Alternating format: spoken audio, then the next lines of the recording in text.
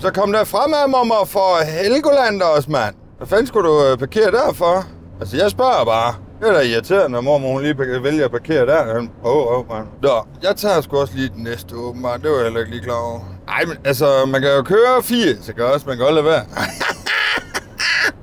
Og jeg kan ikke køre mere end 80. Nå, nej, jeg kører 100. Lad os komme afsted, mand.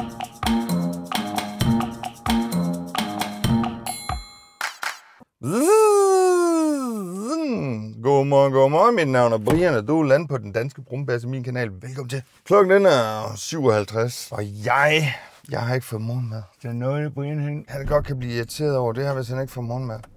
Det er ikke, fordi jeg ikke har haft tid, eller ikke har haft lyst, eller noget som helst. Jeg har bare været så dum, og ikke tænke over, hvad der var i køleskabet i går aftes, da jeg, gik i, øh, da, da, da jeg ligesom kom hjem fra arbejde. I stedet for lige øh, husk, du skal lige have noget mælk, og du skal lige have noget yoghurt, og, og du skal lige have noget øh, musli, eller et eller andet, hvad det nu må være, ikke? For, for købt ind for fanden. Det har jeg så ikke fået gjort. Nej, så det er noget pullerølle. Det er jeg lidt træt af, men sådan er det jo. Sådan er livet altså. Nå, skal vi have flere? Uh, vi skal have flere vejbump. What? Skal vi have flere vejbump? Det er jo syret. Vi skal have vejbump. Mere. Det synes jeg egentlig måske også er en god idé. Det er nok godt nok. Det ser i hvert fald sådan ud på tegningerne på vejen. Det kan godt være, at det er bare at rette huller op og sådan et eller andet, og så vil de fjerne et eller andet, kunne jeg se. Så vil de måske lave en forhøjning ind til vores indkørsel eller sådan et eller andet. Nå, det tog lige et tidsspring. Det var typisk bare det. Godmorgen, godmorgen og velkommen til. Vi er ude at køre. Dagen er startet, og naboen har kørt ind til Spar for lige at være sikker på, at han kan få noget morgenbrød måske. Det ved vi ikke. Jeg kan ikke lige... Øh... Kom, så er der lasterbil. Kom nu, lasterbil for helvede. Det kunne han godt have blinket noget før, det der, den bums, mand. Så er en bums. Det er fandme en bums, den bums der. Og han nede ved bageren, ham der, det er en stor turistbus, lige midt det hele. Så parkerede han den der. Det gjorde han nemlig, parkerede den lige midt det hele. Klokken den er syv, og jeg må nok hellere se at komme afsted i... Hvorfor blinker du ikke? Hvorfor skal du ikke blinke? Er du en mærkelig kvinde eller mand eller ting? Ah, mennesker. Mennesker. Jeg vender lige tilbage angående Ole Villandsen. Han stiller mig nogle rigtig gode spørgsmål. Det gør han faktisk. Den tager vi lige senere. Så er jeg færdig med skolebørnene. Skolebørn. Færdig. Fedt, mand.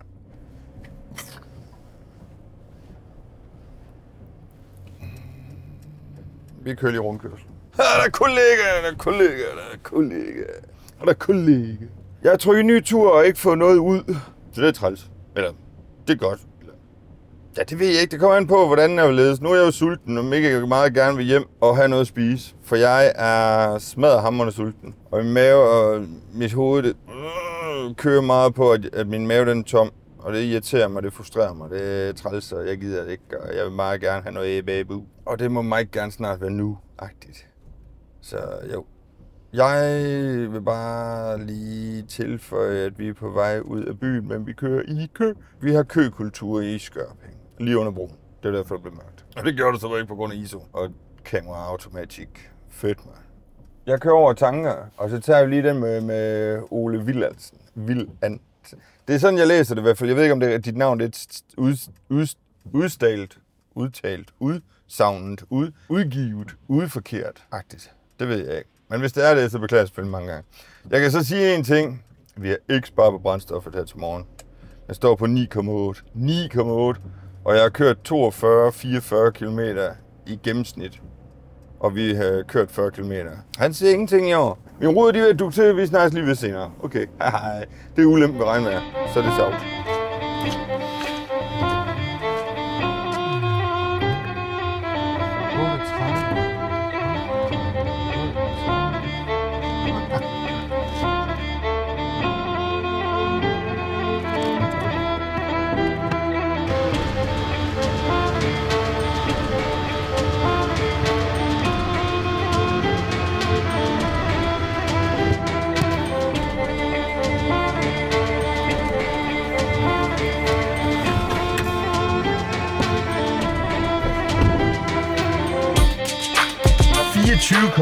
120 liter. Men vi er også i Aalborg i går. Så kom vi til Ole Villandsens øh, opslag. Det er ikke så meget et opslag, det er mere en kommentar. En kommentar. Jeg skal se, om jeg kan finde den også. Fordi det er jo ved nogen, ved, ved nogen dage siden, han har skrevet den, jo. Skrevet Kevin Jensen, den... Mm, ja. Kan jeg huske, hvordan den så ud? Ole Villandsen, der var lige der, så det var egentlig meget nemt. Jeg ser også dine videoer hver dag. Jeg tænker på, hvordan det går med at holde bussen rent. Får den noget kærlighed? Får den noget kærlighed, spørger du? Altså, jeg vil sige, den får kærlighed i den forstand, at jeg ikke bruger så meget brændstof i forhold til rengøring. Jeg er en kejl til at gøre rent, og det, det bliver jeg altid. Og jeg, jeg, øh, jeg var i et firma, hvor jeg fik en spritny bus. Og da jeg fik den her spritnye bus, så satte jeg mig for, at den skulle gøres rent i bund hver eneste fredag. Lad mig bare sige sådan. Det er ikke tilfældet. det er det er ikke til, det er bare overhovedet ikke tilfældet. Jeg er stadigvæk en lort, for at sige det pænt som det er, L-O-R-T, lort, til at holde bussen rent, selvom jeg gerne vil. Jeg har de bedste intentioner, når jeg så for eksempel ser min mulighed, så, så, så havner jeg lige op på sofaen, og så, ah, jeg skulle måske også lige få samlet op på den film, der jeg har forsømt og alt muligt.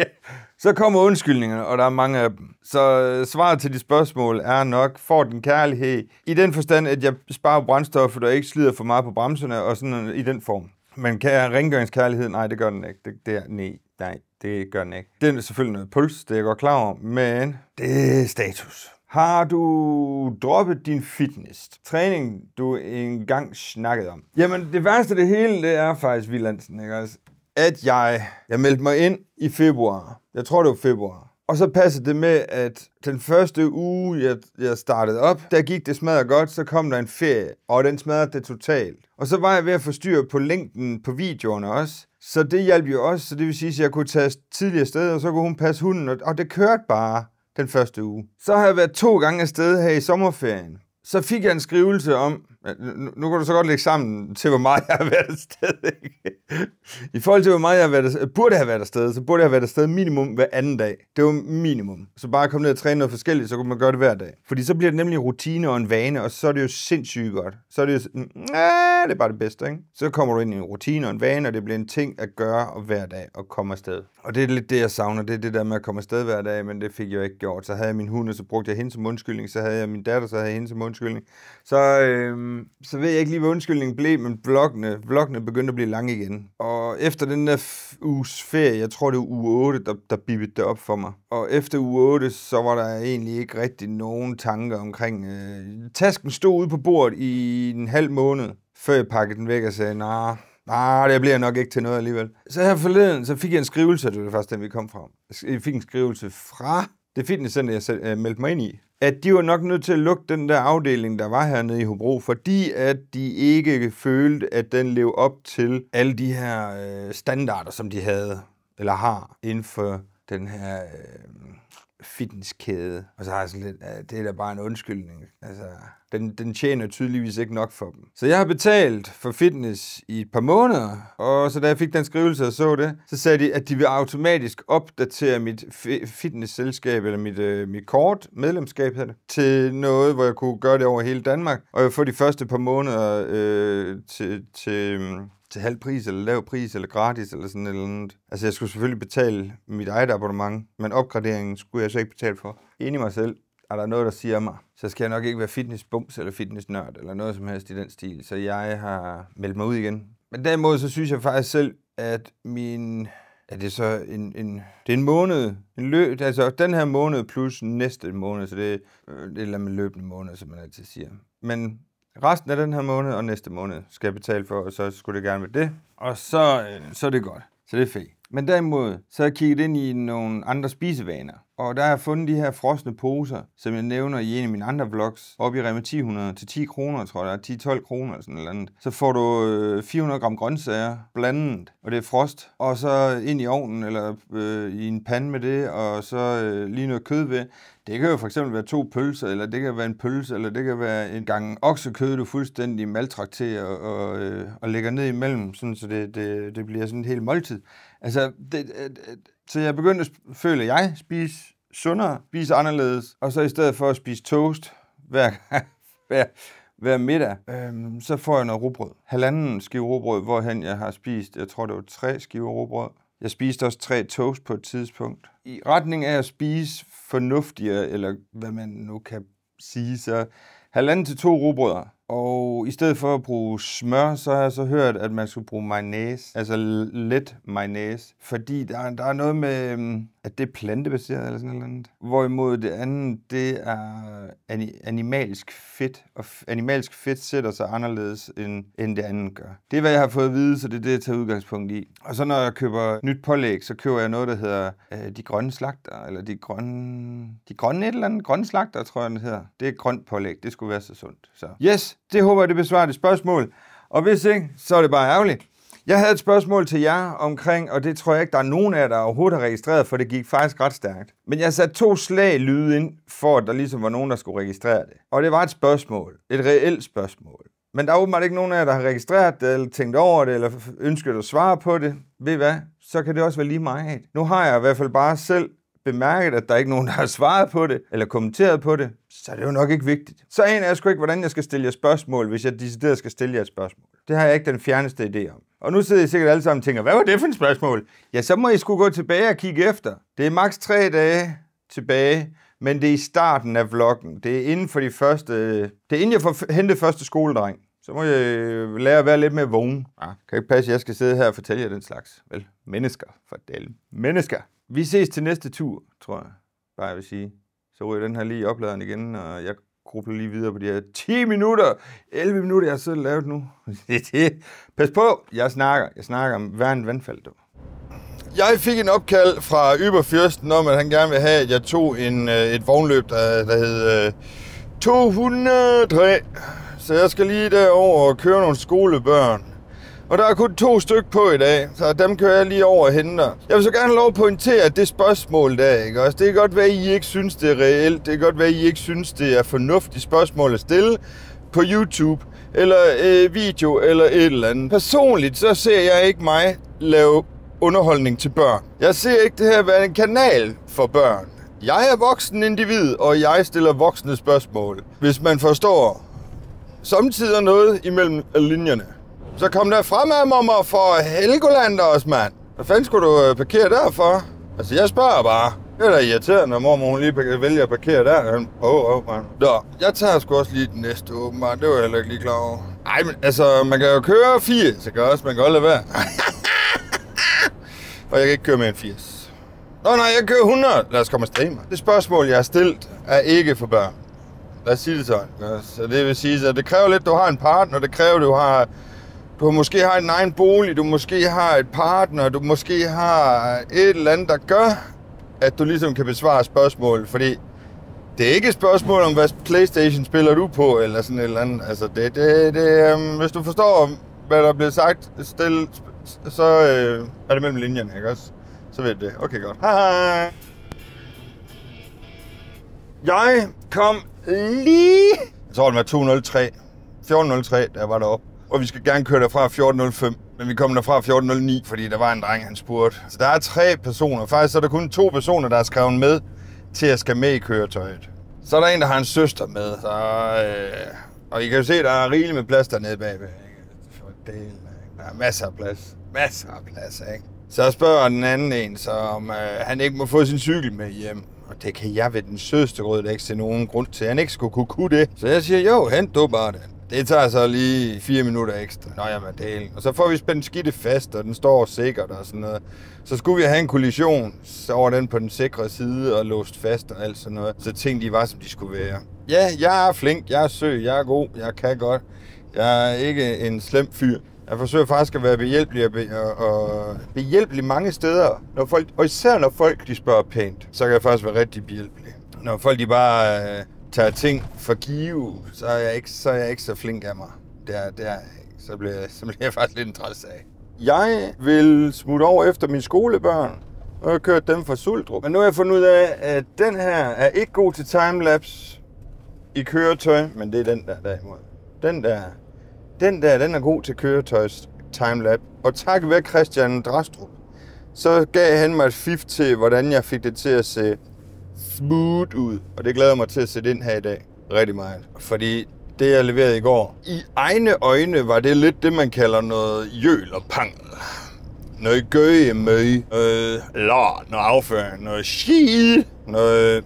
Ja, jeg skulle sidde og lave, for hver gang kameraet lavede sådan en, en, en, en bevægelse, til den ene eller den anden side, hvilket den gjorde hele tiden, hvilket var pisse irriterende, så skulle jeg sætte et keyframe, en billede. Det vil sige, at jeg skal gå ind og rette billedet til. Først så skal jeg sætte en keyframe, sådan så computeren eller sådan så programmet ved, at okay, der skal ske noget her. Hvad skal der ske her? Så går den så ind, og så kan du så vride på billedet, sådan så det passer i den retning, man gerne vil have det. Og det, det gjorde jeg så. Og det var egentlig ikke, fordi det var sådan et problem som sådan. Det var bare træls at skulle gøre det hele vejen igennem. Og det ender stadigvæk med at være noget, hvor, hvor, hvor, hvor videoen stadigvæk bevæger sig fra side til side. Hvorimod den nye der, den nye metode, jeg har fundet ud af, goddammit, den er lækker. Det er lækker. Det kan jeg godt lide. Det gør bare slet ingenting. Vi ses, når skolebørnene er dumpet af. Fremmede Så har jeg sat alle børnene af. B, C, D, F, G. Og jeg er på vej hjem. Og i dag har jeg besluttet mig for, fordi jeg er ude at handle, og så kan man lige til at lave en, en af de der, du ved, ups, den røg lige i kurven. Ej, ups, den røg også lige i kurven. Som faktisk egentlig ikke rigtig var på min indkøbsliste, fordi jeg forsøger jo, eller jeg forsøger, forsøger, det er nok så meget sagt. Men jeg er jeg ved, eller om, ved, ved, ved en omlægning af mit, af mit, øh, ved at lægge min kost om, tror jeg. Men alting skal heller ikke ske på en dag. Det, det vil være fjollet at gøre, fordi så vil man fejle i sidste ende. Og det vil være træls, hvis man et eller andet sted har større succes ved at gøre det i små rater. Og jeg har ikke travlt. Jeg har ikke et mål. Jeg har ikke en dato, jeg har sat. Jeg har ikke noget som helst, hvor jeg ligesom har besluttet mig for, at det skal være dagen, hvor jeg skal veje så og så meget, eller gul bil. Jeg skal ned på det og det kiloantal. Det har jeg ikke besluttet mig for på noget tidspunkt. Så derfor så tænker jeg, at det vil være nemmere at gøre det, i stedet for at sætte sig nogle af de der skarpe mål, som man ved, man ikke kan. Og det der med at tabe et halvt kilo, eller et halvt, eller et helt, eller et eller andet hver måned, og sætte sig det som mål. Altså, jeg skal bare ned i vægt, og det skal bare ske stille og roligt, eller ske på et eller andet tidspunkt. Så længe, at det ikke er sådan noget, jeg forhaster mig ud i, og så løber død, og der er en, der er træt af det hele. Åh, det var træls stamper i jorden, som om det hjælper noget. Det tror jeg ikke, det gør. Det har jeg ikke gjort dengang. Jeg var barn, og jeg tror ikke, det gør det hos børnene nu. Men jeg vil bare sige, at jeg er på vej hjem af, og jeg er, øh, var ude at handle i dag, og så skal jeg hjem og have den pizza der. Den klassiske pizza, jeg også reklameret for den dag, da Kevin P. han var der. Yeah. Og den pizza, den kan jeg altså godt lide. I dag så er det så godt nok ikke med skinke. I dag der er det godt nok desværre med pepperoni. Og det er ikke min, øh, min, min ekstremt skarpe side, hvor jeg tænker, woohoo, ej, det glæder mig helt til. Der er noget at se frem til, og alligevel ikke helt. Ej, men det er dommoralsk, det ved jeg godt, og det er noget læn under, når, er, når det er dommoralsk. Det er bare len, når det er dommoralsk. Dommoralsk, det er træls, det skal man lade være med. Men jeg kan ikke helt lade være. Jeg vil køre hjem, og så vil jeg holde fri, lave vloggen færdig, og så vil jeg lægge den op til i morgen. Og så skal jeg over med min bil. Jeg har bestilt plads, jeg har bestilt værksted, jeg har bestilt værkstedstid til noget, jeg måske ved ikke helt rigtigt, om det er nødvendigt, om det er aktuelt. Det er jeg ikke sikker på, men jeg synes, min dækindikator på bilen har fortalt mig, at øh, der er ikke tilstrækkeligt nok luft i dine dækker. Og så har jeg pumpet dem op, og så er den stadigvæk sagt det. Så her den anden dag, så pumpede jeg dem op herhjemme med min egen dækslange pumpe tingest, kompressor, øh, hvad, hvad man nu kalder det. Sådan en til at pumpe, pumpe dækket op med. Ikke? Den pumpede jeg den op med, og så, så finder jeg så ud af, at det jeg har kraftedeme gjort det igen, da. Ah! Hvordan kan jeg gøre det samme to dage i træk, mand? For helvede! Åh, oh, det var da til at blive irriteret over. Hvad snakker du om, Brian? Ja, men... Jeg synes, det er træls, ikke? Hvorfor? Fordi at jeg glemte at optage igen i dag, så jeg bare kørt igennem byen og snakket en delens masse og fortalt jer en helvedes masse om en masse ting, som et eller andet sted synes var væsentligt på det tidspunkt, men nu kan jeg kraftedeme ikke huske lortet. Bliver man frustreret i bøtten? Ja, fuck gør man så, mand. Åh. Oh. Tænd lortet og tryk på optag. Men det er fordi, så, så er jeg fokuseret på, at jeg skulle trykke på den der. Og så optager den, og så... Oh, fuck lort. Det er den samme fejl to dage i streg. Gider du kraft i helvede? Fuck ikke godt lade være, mand. Øv. Hallo, Moto. Yes, sir. Yes, sir. Okay prøver lige igen her. Jeg har fået sat alle skolebørnene af, og jeg har fået handlet ind. Jeg har en bil, jeg skal have kørt over til værkstedet, og jeg har fået mm, købt ind til aftensmad. Den der Kevin P-video, jeg lavede, hvor vi laver noget bag om videoen, der viser jeg en pizza. Det er med skinke. Den, jeg har købt, det er med pepperoni. Det er ikke helt det samme. Det er ikke helt så fed en optur, men det kan gå. Det går an. Det går an. Så det er den, jeg skal have spist i dag. Og børnene er afleveret, og det er også godt. Så det, det, det er super duper. Der var et eller andet mere, jeg var inde på at snakke om. Men det var vist bare den kort, I får den kort hugget version. Min bil skal til reparation, fordi dækindikatoren fortæller, at der er noget galt med trykket. Så jeg har været oppe på OK og sat den der på to bar, puttet på foran og så puttet på bagpå. De skal have to forskellige øh, dæktryk for at køre rigtigt. Og det undrer mig så bare, fordi da jeg stiger ind i bilen igen, så er dæktrykindikatoren stadigvæk i displayet. Jeg har så fundet ud af, putter du det rigtige dæktryk i din dæk, så forsvinder indikatoren. Det vidste jeg fandme galt med ikke, så jeg troede jo, jeg skulle ind og stille den på ny hver gang. Det viser så åbenbart, at hvis, den, hvis du har sat den på et bestemt dæktryk, så når du rammer det dæktryk, så er der styr på skidtet. Og jeg er lidt i tvivl om... Øh, ej, jeg tror, at min, min bil skulle have ny fordæk i hvert fald, så det er lidt aktuelt. Men luften er ikke sikkert, den er aktuel. Men det er fordi, jeg, jeg havde på et tidspunkt, hvor jeg puttede luft på lige inden Holst, kom hjem fra Holst, havde en ny dækindikator, der fortalte mig, at der er noget galt med trykket. Så jeg tjekker igen, og der ser den ud, som om den er smidt på forskellige dæk. Og så tænker jeg, fuck man, jeg kører rundt med fire dæk, der, der, der siver lort ud. Eller siver luft ud, havde det jo ikke afføring, der var fundet. Det er ikke sådan, det skal forstås. Så nu skal jeg op med bilen til værkstedet, så har de den i morgen, og jeg får den hjem igen i morgen aften. Men jeg kører den op i dag, så de har den i morgen tidlig, og så dermed så har de den, så, så kan de bruge den hele dagen, og hygge sig med det hele dagen. Gå, det går nok fin bil, den øh, skal Øhm, alt efter hvor lang tid det tager mig at fordele hjem til og så videre. Og så har jeg en ting mere, jeg skal nævne til dem. Der er rystelser i, kø, i, i øh, rystelser i styretøjet, og jeg fornemmer, at det kommer fra den side der. Og det er der, hvor de har jo skiftet den fjeder ud på et tidspunkt. Jeg ved ikke, om det har noget med hinanden at gøre, eller om det bare kan være en vægtklods, der er røgnet af, eller et eller andet der stil, men jeg synes, det er meget ubehageligt at køre med, fordi det kommer først, når jeg kommer over 100, og så op til 130. Accelerationsperioden, og så øh, efterfølgende. Jeg vil i hvert fald sige tusind tak, fordi du kiggede ind. Mit navn er Brian, og det her er den danske brumbasse. Tusind tak, og kan du holde den flyvende, til vi ses igen? Moin så længe, man. Og så husk at trykke optag i morgen, når du kører hjem, Brian. For helvede i en bumsmand. Ja. Tak fordi I kiggede ind.